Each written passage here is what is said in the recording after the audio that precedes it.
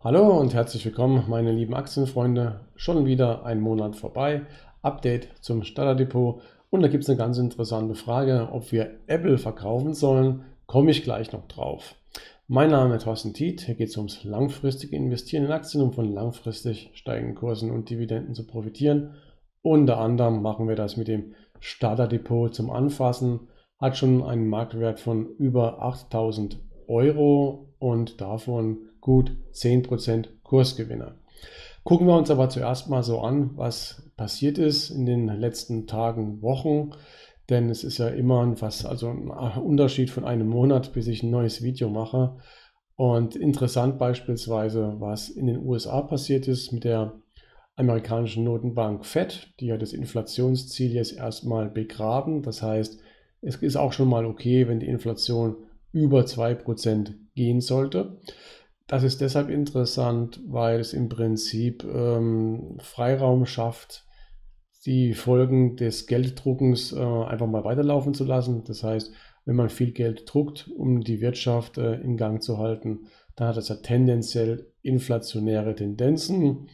Wir sehen das ja teilweise, wenn es die Häuserpreise angeht, nicht unbedingt oder noch nicht bei den äh, Gütern des täglichen Bedarfs. Das heißt, äh, wir sollten uns, falls wir es nicht schon getan haben, an den Nullzins gewöhnen. Äh, so wie es ja in Japan seit Jahrzehnten der Fall ist. Apropos Japan, das sind die anderen vielleicht Big News gewesen. Nicht nur, dass Warren Buffett 90-jährigen Geburtstag gefeiert hat, er hat sich auch in die fünf großen Handelsgesellschaften in Japan eingekauft.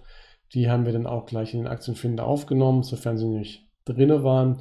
Hier siehst du Warren Big in Japan, seine persönliche Asien-Offensive oder Berkshire Hathaways Asien-Offensive. Wir haben eine eigene Asien-Offensive, die haben wir schon ein paar Tage vorher ins Leben gerufen. Das heißt, im Aktienfinder gehen wir hin. Ich bin der Betreiber des Aktienfinders und tun jetzt vermehrt äh, Aktien aus Südostasien aufnehmen, die auch interessant sind. China, wie die Sonderwirtschaftszone Hongkong, Shanghai, Japan und Südkorea insbesondere. Genau. Und ähm, was noch passiert ist, interessant war, denke ich, dass von Tradegate, die so die anderen Programme ein bisschen überrumpelt haben, denn bei auch Tradegate bietet es Aktiensparpläne an und das liest sich auf dem Papier erstmal ganz gut. Das heißt, da ist die Mindestanlage, beträgt dann nur 10 Euro. Jetzt bei der Consorsbank sind es 25 Euro. Und die haben 1000 deutsche und internationale Aktiensparplan fähig gemacht. Und äh, das Ganze soll sogar kostenlos vonstatten gehen. Was heißt hier kostenlos? Ich zeige dir mal kurz Portfolio Performance. Und das sollte ich jetzt die richtige, ja, hier ist es glaube ich schon. Ich tue das mal in deinen Sichtbereich hier reinschieben. Und das hier sind die Ausgaben pro Sparplan. Ausführung fallen hier 37 Cent an.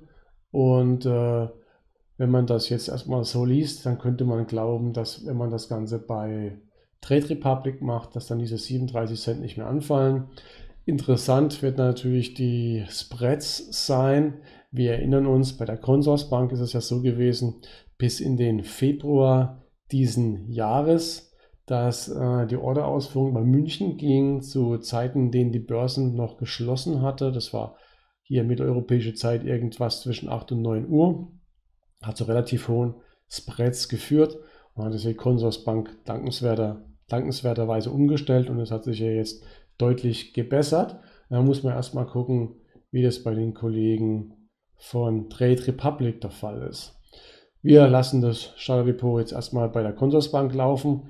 Ich bin da eher einer so ein bisschen von der ruhigeren Sorte. Das heißt, ähm, Aktien kaufen und verkaufen, das mache ich wenig spontan. Das ist eher überlegt und langsam.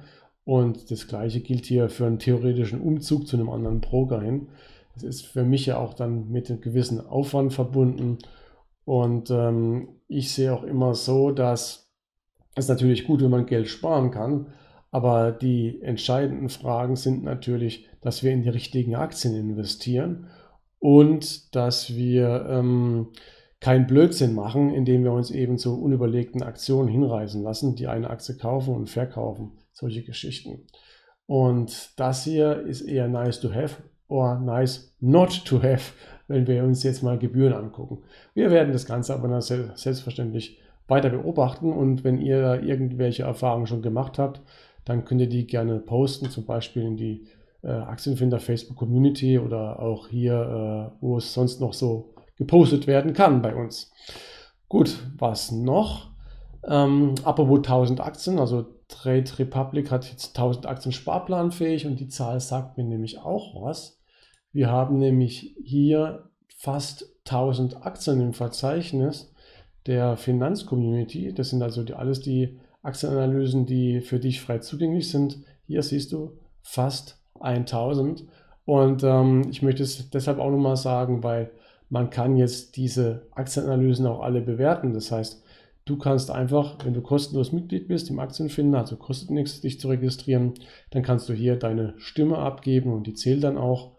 Und so hilfst du halt auch äh, Qualität zu belohnen und bist dann auch ein bisschen mehr noch aktiver Teil der Finanzcommunity. Das Verzeichnis kommt ganz gut an. 48 Autoren bzw. Webseiten, da sind teilweise auch mehrere Autoren dabei, haben da jetzt schon oder wirken da jetzt schon mit. Und ähm, ich bin zuversichtlich, dass das Ganze weiter schön gut läuft. Also es bietet definitiv einen großen Mehrwert. Ja, jetzt rede ich aber ganze Zeit über irgendwas, nur nicht über das Starterdepot. Man mag es mir verzeihen. Dann denke ich, ähm, berichtigen wir mal das. Hier sind wir im Starterdepot. Gucken wir erstmal an, wie das Ganze so performt hat. Also wir haben jetzt über 8000 Euro Marktwert schon im Starterdepot. Das ist der Marktwert von den Positionen. Wir haben noch so ungefähr 400 Euro auf der hohen Kante nochmal zum Nachkaufen, weil wir in den ersten Monaten nicht sofort alles investiert hatten von den 500 Euro, weil wir ja noch nicht alle 20 Aktiensparpläne beisammen hatten. Wie gesagt, immer ein bisschen Zeit lassen und eher einen Schritt zu bedächtig als einen Schritt zu hektisch. Äh, Kursgewinn 820 Euro fast, also über 10 Prozent, 11 Prozent. Und äh, bemerkenswert, der Dollar, der hat ja momentan eine kleine Schwächephase und das hat uns hier 350 Euro bisher an Performance gekostet, weil wir ja viele Aktien aus den USA haben. Dann sind die eben in Euro umgerechnet weniger wert. Das heißt, wir hätten eigentlich, wenn der Dollar stabil geblieben wäre, zum äh, Euro nicht 800 Euro Kursgewinn, sondern 1150 Euro Kursgewinn und entsprechend dann mehr als 11% Rendite. Ähm, zu den Kursgewinnen kommen hier auch nochmal Dividenden hinzu. Das ist ja der Bruttobetrag. Das wäre dann auch nochmal ein gutes Prozent obendrauf. Äh, läuft also, wie du siehst, ganz ordentlich. Wenn's, wenn ich sage ganz ordentlich, was heißt es hier im Vergleich zu den diversen Benchmarks. Da habe ich hier Portfolio Performance. Muss ich vorhin nochmal nachpflegen. Da hat es mir irgendwie das XML äh, zerfetzt. Also ein super Programm.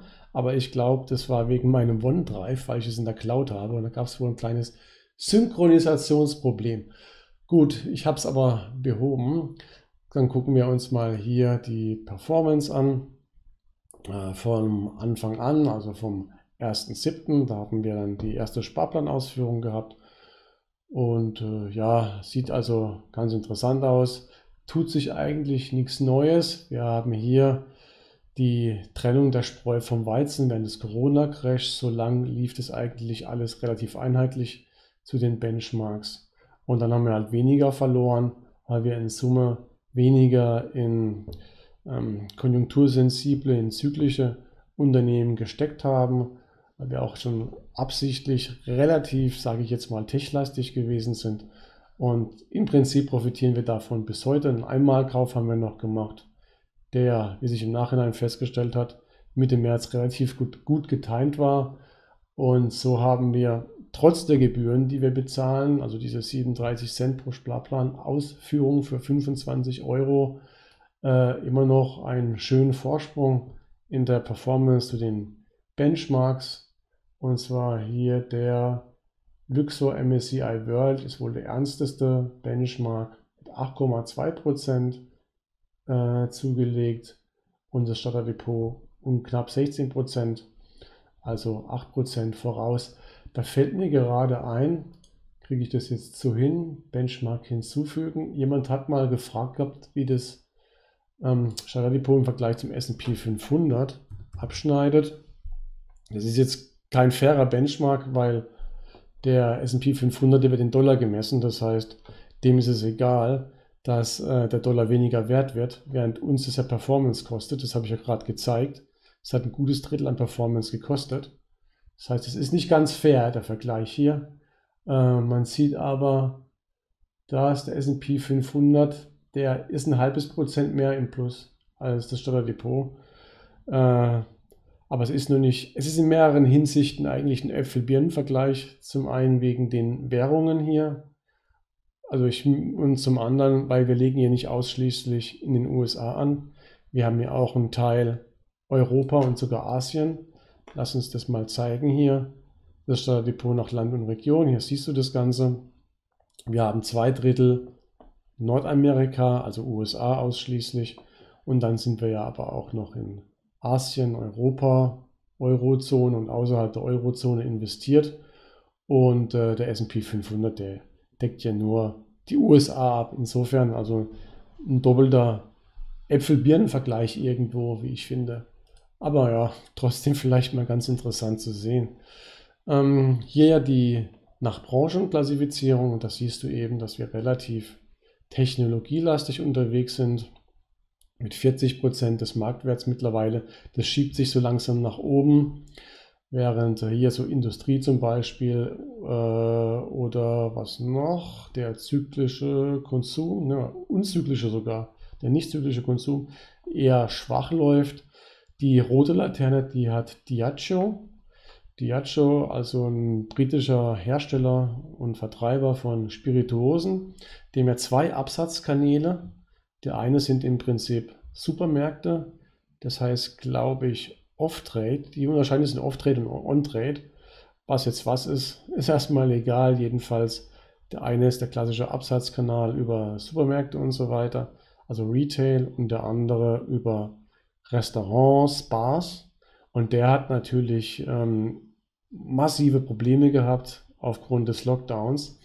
Ich habe vorher noch extra nachgeschaut. In Nordamerika lief es gut. Sogar im letzten Quartal in allen anderen Teilen der Welt sind die Absätze eingebrochen in Restaurants, Bars und so weiter. Und da müssen wir mal gucken, wie es da weitergeht. Ähm, hier die rote Laterne, das sieht man dann bei den Positionen hier. Äh, man kann hier sortieren nach Gewinn und Verlust in Prozent. Und hier Diageo äh, rote Laterne, Cisco Systems in Euro, aber wenn du hier mal guckst, die Cisco Systems hat halt die Hälfte des Wertverlusts sind eben Wechselkursverluste. Und äh, das heißt, wenn man das quasi in Heimatwährung umrechnen würde, dann hätte Diageo die rote Laterne. Insgesamt aber sehr, sehr erfreulich. Also wir haben hier nur 1, 2, 3, 4, 5, 6 Positionen, die äh, in den Miesen sind. Wobei auch hier zum Beispiel Pepsi und 3M, die wären deutlich im Plus, wenn der Dollar nicht so schwächeln würde. Und die ganzen anderen Positionen, die sind im Plus und teilweise eben sehr, sehr deutlich mit sehr starken Zugewinnen. Und hier sehen wir Apple mit äh, 67 Prozent mittlerweile schon im Plus. Daher oder von daher auch die Frage, ob man da Gewinne mitnehmen soll. Ich äh, zeige gleich mal noch Apple im Aktienfinder. Und hier haben wir ja auch Dividenden bekommen. Wir haben schon für die meisten Aktien mittlerweile Dividenden bekommen. Äh, Amazon hat noch nicht ausbezahlt. Die haben wir ja reingenommen, so als Ausnahme, weil wir gesagt haben, da wollen wir uns auch mal dran beteiligen, auch wenn die keine Dividende bezahlen. Wie du siehst, mit 56% im Plus hat sich, obwohl keine Dividende ausgeschüttet wurde, dennoch schon bezahlt gemacht. Und andere Aktien hier, die haben auch schon fleißig Dividenden bezahlt. Kommen wir dann ja auf diese 88 Euro. Ja, äh, gehen wir doch hier mal zu Apple, würde ich sagen. Muss ich mich aber vielleicht erstmal anmelden.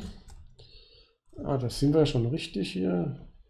Und ja, die Frage, die gekommen ist, das siehst du hier auf dem Blog wachstumswerte.net. Und ist auch ganz interessant, man, man liest halt dann eine gewisse Einschätzung raus. Und zwar hier ist das wichtige Wort Hype. Also ist die Einschätzung, dass die Technologieaktien halt überwertet sind, dass das jetzt ein Hype ist. Ähm, und dann die zweite, ähm, das zweite wichtige, oder zweite wichtige Info oder Annahme, da geht dann der Gerhard hier von den Dividenden aus und sagt sich eben, dass die Dividenden doch relativ niedrig sind. Er geht im Jahr 2031 in Rente und bis dahin soll dann Apple laut der Prognose, das kann ich dir auch noch zeigen, die im Aktienfinder im Dividendenbenchmark verfügbar ist, die Dividende steigern, relativ bescheiden von 0,6 auf 1,13 Prozent.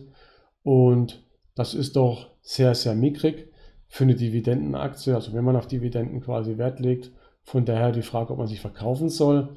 Dann wird hier noch Tencent dargestellt und bis zum Jahr 2031 dann knapp 3% Dividende. Das heißt, da würde dann schon ordentlicher Cashflow anfallen. Mit 3% ist ja deutlich mehr als 1,13%. Äh, hier haben wir das Starterdepot, jetzt mal im Aktienfinder. Und da siehst du dann auch hier die entsprechenden Positionen. Ich mache das Ganze nochmal ein bisschen größer, sodass du gleich alles auf einmal siehst. Und hier siehst du dann auch die Kursentwicklung und schon auf ein Jahr bezogen. Da lag ja der Corona-Crash dazwischen. Das ist übrigens immer in Heimatwährung hier, die Kursgewinne. Und da siehst du, trotz des Corona-Crashs, also laufen die Aktienmärkte bzw. läuft das Starterdepot sehr, sehr gut. Wir haben nur 1, 2, 3, 4, 5 Aktien, die momentan im Minus sind, auf ein Jahr bezogen, auf sechs Monate sind sogar nur noch zwei und äh, hier wieder ein bisschen mehr, aber in, in Summe äh, sehr viel grün, sehr wenig rot. Und wenn wir uns jetzt mal Apple rauspicken hier und dann mal in die Bewertung gehen, da siehst du ja auch den Kursverlauf. Das machen wir mal alles weg hier, das brauchen wir nicht. Aber ich denke, was der Gerhard meinte, man sieht es hier. Also Apple hat schon ganz schön zugelegt. Zoomen wir mal noch ein bisschen rein. Noch im Corona-Crash 57 ist natürlich gesplittet schon. Ne? Stock-Splits waren ja auch Tesla und Apple. Und jetzt 131 Dollar, also ist schon ganz schön ordentlich. Gehen wir mal von hier nach da. Dann haben wir hier einen Kursgewinn von 150 Prozent innerhalb einer relativ kurzen Zeitspanne, innerhalb von äh, gleicht etwas über einem Jahr, also 14 Monate, 150 Prozent zugelegt. Da kann man sich natürlich schon die Frage stellen, ob man Gewinne mitnehmen möchte. Ich tendiere dazu, ich sage es gleich, einfach weiterzulaufen, weiterlaufen zu lassen, weil keiner weiß, wie es weitergeht. Das weiß man sowieso nicht. Aber ich teile nicht ganz die Einschätzung von dem Hype. Denn Hype, das heißt ja immer, ist ja quasi ein Synonym, ist ja Blase. Das heißt, äh, hier ist irgendwas künstlich, das aufgebauscht wird.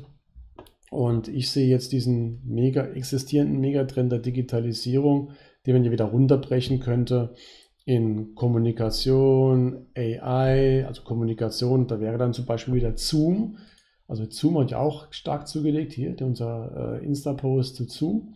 Das ist ja quasi Digitalisierung. Tesla ist ja auch Digitalisierung, dass das Auto quasi von alleine fährt, ohne Autofahrer, wenn du so willst, dass äh, neue Funktionen freigeschaltet werden über WLAN. Äh, das ist alles ein Megatrend. Oder Gamification könnte auch ein Megatrend sein. Wir sitzen jetzt mehr zu Hause, weil wir uns nicht anstecken wollen und zocken mehr. Also der Bereich Digitalisierung, der lässt sich nochmal unterteilen in unterschiedliche Megatrends und Apple ist da natürlich mit dabei. Äh, jetzt sage ich nicht, dass die Aktie günstig ist und das nicht wieder stark korrigieren kann, aber es ist aus meiner Sicht schon mehr als nur ein Hype. Ähm, geht deshalb, man kann natürlich die Aktie verkaufen, wenn man will, aber auch nicht vergessen, dann fällt Kapitalertragssteuer ein, die ungefähr 26 Prozent mit dem Soli. Gibt es einen Soli noch? In meiner GmbH gibt es sie noch. Auf jeden Fall, Abgeltungssteuer fällt an und die musst du dann auch mal wieder erst rausholen. Ähm, und dann die andere Geschichte mit dem Dividenden-Benchmark hier, gucken wir uns auch mal an. Und zwar haben wir den hier, das ist der Dividenden-Benchmark und hier siehst du Apple momentan die 0,61, wenn Gerhard in Rente geht. Hier sind es jetzt 1,12 Prozent. Äh, er meinte dann Tencent, die haben eine höhere Dynamik, was die Dividendenentwicklung angeht. Und da hat er vollkommen recht. Und hier dann eben die 2,87 Prozent. Ich glaube, das sind auch die Zahlen von Gerhard. Und dann entsprechend, wenn man das einfach noch weiter fortführt, äh, haben wir dann noch eine höhere persönliche Dividendenrendite. Das ist natürlich auf der einen Seite wirklich interessant zu wissen und das kann auch die Anlageentscheidung beeinflussen. Auf der anderen Seite, wenn du dir mal die erzielten Renditen anschaust, dann kauft man eine Aktie wie Apple eigentlich weniger aufgrund der Dividendenrendite, weil die meiste Rendite halt einfach aus Kursgewinnen kommt. Das siehst du hier sehr schön. Du siehst nämlich kaum die Beiträge der Dividende zur Rendite. Also Apple angefangen 2012 Dividende zu bezahlen. Und dann siehst du ja hier die jährlichen Renditen im Prinzip auch. Das entspricht ja dann eine Jahresrendite im Brutto, die Dividende. Und wenn du jetzt dann hier die jährlichen Kursgewinne aber noch einblendest, hier ab dem Jahr 2012 äh, wurden Dividenden bezahlt, dann kannst du das kaum erkennen. So niedrig ist der Beitrag der Dividende zur Rendite. Insofern sollte man, meine ich, ähm, eine Kauf- oder Verkaufsentscheidung nicht von der, von der Aktie wie Apple nicht von der Dividendenrendite abhängig machen. Äh, was ich dir aber trotzdem noch zeigen kann, ist auch ganz interessant. Übrigens ist jetzt der Umkehrschluss oder die andere Perspektive vom Dividendenbenchmark. Der Dividendenbenchmark, der führt in die Zukunft und wir haben noch eine andere Möglichkeit, die persönliche Dividendenrendite auszurechnen. Das ist übrigens auch ganz neu und weil es gerade reinpasst, möchte ich das mal zeigen. Hier sind wir ja bei Apple und machen wir mal die fairen Werte weg komplett. Und du kannst auch die persönliche Dividendenrendite ausrechnen, sogar etwas in die Zukunft. Wir haben übrigens auch noch ein Jahr äh, Prognosen erhöht, also auch nochmal nebenbei erwähnen. Also wir haben jetzt äh, Prognosen bis zum Jahr 2023. Äh, vorher ging es nur bis zum Jahr 2022 im Fall von Apple, also ein Jahr mehr. Und du kannst jetzt hingehen und einen beliebigen Zeitpunkt äh, auswählen. Wir haben gesagt, angefangen hat Apple irgendwo 2012 Dividenden zu bezahlen. Und dann kannst du mal schauen bis heute, wie sich deine persönliche Dividendenrendite entwickelt hätte, wenn du im Jahr 2012 Apple-Aktien dir ins Depot geholt hättest. Dann siehst, verbindest du die Punkte hier. Das ist dann der simulierte Aktienkauf. Und dann wäre deine persönliche Dividendenrendite bei 3,2 Prozent. Äh, das ist ja schon auch ganz ordentlich. Und du kannst es sogar noch in die Zukunft führen, jedenfalls bis hierhin. Und dann wäre deine Dividendenrendite schon bei 3,8%. Das gerade noch so nebenbei, was so schön reingepasst hat und weil es auch ein neues Feature ist. Ah, mir juckt die Nase. Kann es sein, dass ich gleich niesen muss. Ich versuche immer einen One-Take zu machen, um nicht schneiden zu müssen. Ah, okay, ich bin rumgekommen. So, äh, was noch? Ja, ich glaube, im Prinzip war es das schon. Also eine andere interessante Frage war noch, ob wir, das kam auch hier, ah, muss ich mal gucken, vom, hier, ob es ein Regelwerk gibt, um Aktien zu verkaufen. Wenn diese kein dynamisches Dividendenwachstum mehr aufweisen. Nö, haben wir nicht, ne? Wir haben kein Regelwerk, wo wir so feste Punkte vergeben und wir klopfen das quasi jeden Monat ab und sagen so wie Leverman-mäßig, äh, wenn es jetzt unter so und so viele Punkte fällt, dann verkaufen wir die Aktie. Machen wir nicht. Wir kriegen es einfach mit, was schlecht läuft, was gut läuft. Und wir gucken das dann halt so anlassbezogen an, sage ich mal. So wie wir uns Cisco angeschaut haben. Das haben wir ja auch analysiert. Wo war es? Hier bei den Aktienanalysen. Kannst du dir auch mal angucken, wenn du möchtest. Hier ist Cisco und da haben wir uns das Ganze ja angeguckt. Ja, wir haben aber hier ein Scoring-System, das bezieht sich ja auf unser dynamisches Dividendenwachstum beziehungsweise auf Dividendenwachstum allgemein. Und da siehst du, dass die Scores relativ hoch sind. Amazon hat 0 Punkte, weil sie keine Dividende bezahlen, aber das wissen wir ja. Und Adidas, die haben die Dividende jetzt erstmal aufgeschoben. Ich weiß gar nicht, ob die jetzt überhaupt noch Dividende bezahlen fürs letzte Geschäftsjahr. Äh, ich habe nachgeschaut, habe auch so auf die Schnelle auf ihrer Homepage nichts gefunden. Muss man mal schauen. Ja, gut, das soll es dann gewesen sein. Also es läuft, es läuft weiter und ich bin auch guter Dinge, dass wir mit dem Starterdepot dann bald einen fünfstelligen Betrag erreichen werden. Vom Marktwert her, es sei denn, es gibt einen Crash. Falls es einen Crash gibt, dann haben wir noch ein bisschen Geld in der Hinterhand. Dann können wir nochmal die ein oder andere, ein, den ein oder anderen Einmalkauf tätigen. Okay, danke fürs Zuschauen. Bin ein bisschen abgeschweift. Ich hoffe, das war nicht so langweilig. Bis zum nächsten Mal. Ciao.